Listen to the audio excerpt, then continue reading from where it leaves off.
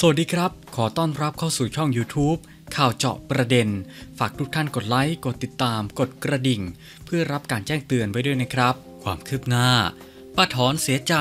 โดนลุงพลหลอก แฉนิสัยก่อนและหลังดัง นึกว่าคนละคนกัน ภายหลังที่ศาลตัดสินคดีน้องชมพู่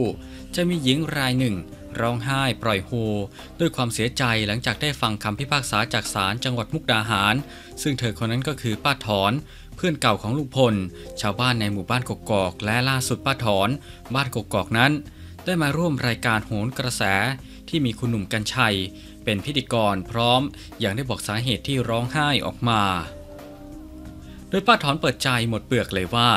เสียใจที่โดนหลอก ซึ่งเมื่อศาลตัดสินมาแล้ว เธอก็เชื่อในคำตัดสินของศาลอีกทั้งตอนนี้ไม่ได้คุยกับลุงพลแล้ว เพราะเขานั้นไม่คุยกับเรา ตั้งแต่เขาดัง เขา ก็ไปเลย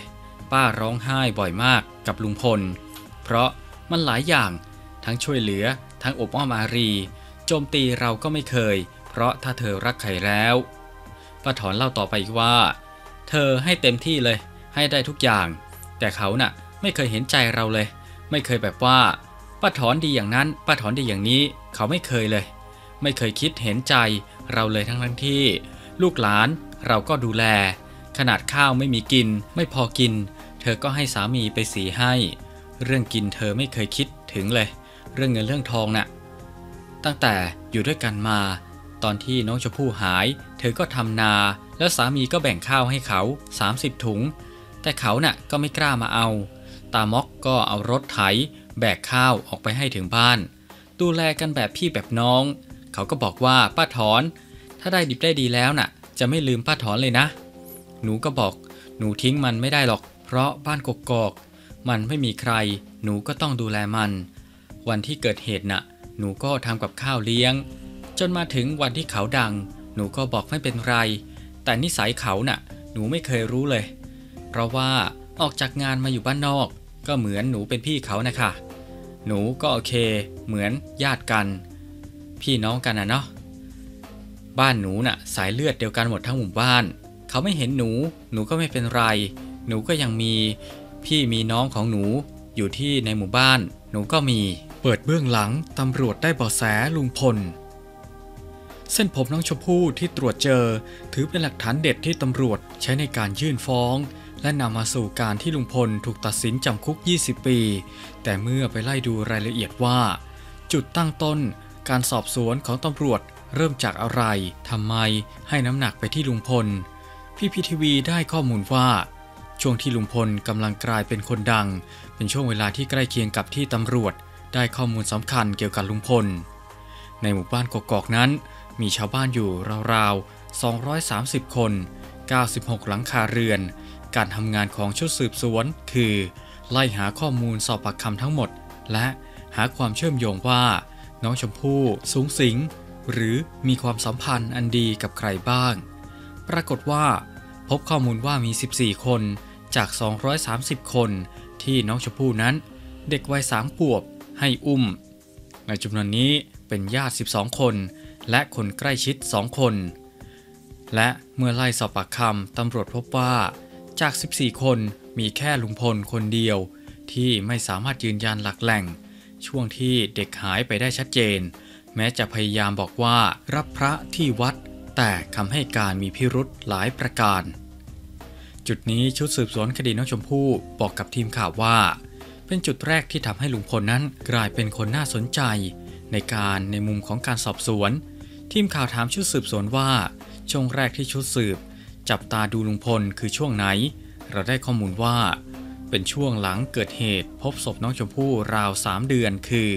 น้องชมพู่หายออกจากบ้าน11พฤษภาคม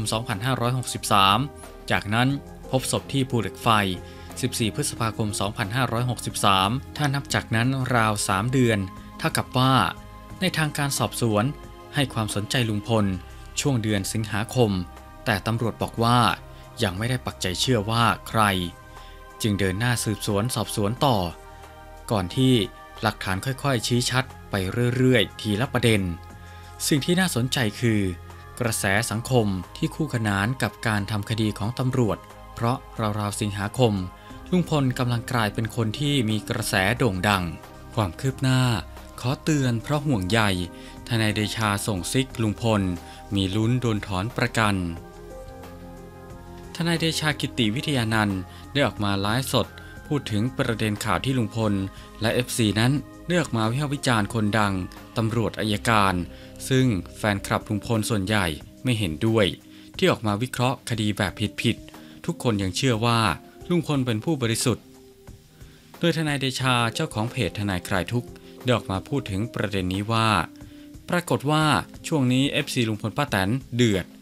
วิพากษ์วิจารณ์คนดัง เยอะแยะ อย่างเช่น ลตรวจโทเรวัตกลิ่นเกษรพลตรวจตรีวิชัยสังประภัย และยังมีการวิพากษ์วิจารณ์พิธีกรดังอย่างหนุ่มกัญชัย จากทางรายการโหนกระแส ด่าตำรวจสองท่านที่ไปออกรายการโหนกระแส รวมถึง ด่าทนายดังๆ ทุกคน ด่าอายการที่ออกมาวิพากษ์วิจารณ์เรื่องของคดี เรื่องนี้น่ะ ผมอยากจะฝากพี่น้องประชาชน รวมถึง FC ลุงพล การไปด่าบุคคลอื่น หรือผู้ที่มีความรู้ทางด้านกฎหมาย ลุงพลกับป้าแตนต้องห้ามปรามเหล่ายูทูบเบอร์ ถ้าคุณไม่ห้ามปรามเหล่ายูทูบเบอร์นั้น เดี๋ยวจะโดนถอนประกัน เพราะผมน่ะได้ข่าวมาว่า ทางด้านของอายการและแม่น้องชมพู่เขากำลังเก็บรวบรวมข้อมูลอยู่ การพูดการจาของลุงพลและเหล่า FC ทั้งหลายนั้น คุณน่ะไม่ยอมห้ามปราม ระวังจะโดนถอนประกัน ฝากไว้ อย่าเที่ยวไปด่าคนนั้นคนนี้ ใครจะวิพากษ์วิจารณ์ ก็สิทธิของเขา คุณไม่ชอบก็ไม่ต้องดูเขาแค่นั้นครับ ไปวิพากษ์วิจารณ์คำตัดสินของศาลระวังจะโดนละเมิดอำนาจศาลนะ และดูหมิ่นศาลจำคุก 7 ปีนะ ความคืบหน้า เส้นผมน้องชมพู่มีสองบังตำรวจเล่าความพยายามลุงพล ความเชื่อทางไสยศาสตร์ ความคืบหน้าล่าสุดของคดีน้องชมพู่ ในรายการโหนกระแสได้มีการเชิญตำรวจ สอบสวนกลางมาอธิบายเกี่ยวกับเรื่องราวของการสืบสวน หลักฐานสำคัญมัดตัวคนร้าย โดยเจ้าหน้าที่ตำรวจเผยว่า คนร้ายน่าจะมีความเชื่อทางไสยศาสตร์ จึงตัดผมน้องชมพู่ไปกระจุกหนึ่งและตรวจพบในที่เกิดเหตุ 16 เส้น หลังจากนั้นเจ้าหน้าที่ตำรวจจึงไปค้นตามสถานที่ต้องสงสัย คือในรถของลุงพล ผลตรวจพบเป็นเส้นผมที่ถูกตัดด้วยของมีคม ชนิดเดียวกันและ ตัดออกมาพร้อมกัน และนอกจากหน้าตัดพบว่าในที่เกิดเหตุ